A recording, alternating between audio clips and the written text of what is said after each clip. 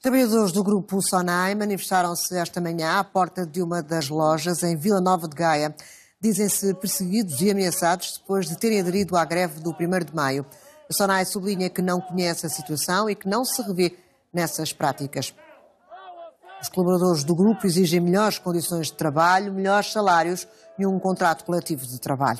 Arménio Carlos juntou-se ao protesto e considerou a situação inadmissível que aquilo que se passa aqui nas lojas da Sonai é também aquilo que se passa noutras lojas, nomeadamente do Pingo Doce, mas não só.